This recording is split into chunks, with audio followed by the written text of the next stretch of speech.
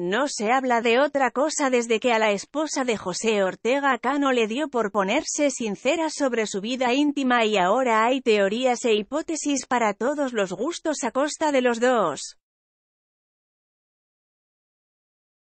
Desde que Ana María Aldón rompiera espontáneamente en un arranque de sinceridad sobre su relación con José Ortega Cano ha abierto la caja de los truenos y no se habla de otra cosa que de su crisis matrimonial o posible separación.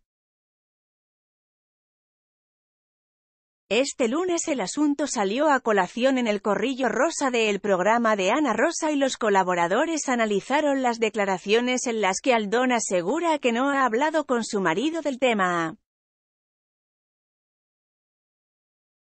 Viviana Fernández comentó que Ortega Cano vive más preso de lo que se supone que va a contar Rocío Carrasco en el documental y de lo que dice su hija.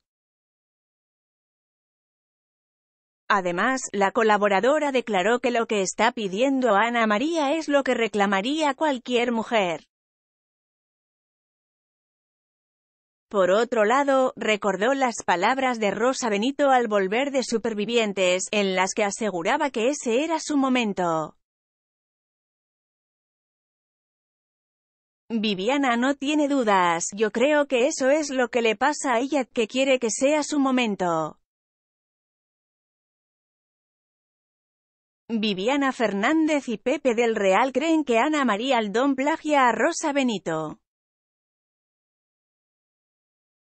Pepe del Real se unió a su compañera y comentó que no cree que quiera dejar al torero, pero reclamando está evidenciando una serie de cosas que pasan en esa casa.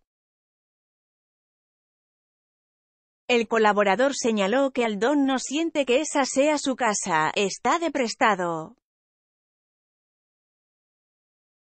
¿Cómo es que esta señora que lleva más años que la Tana casada con él, no tenga un espacio en esa casa? comentó tajante el periodista.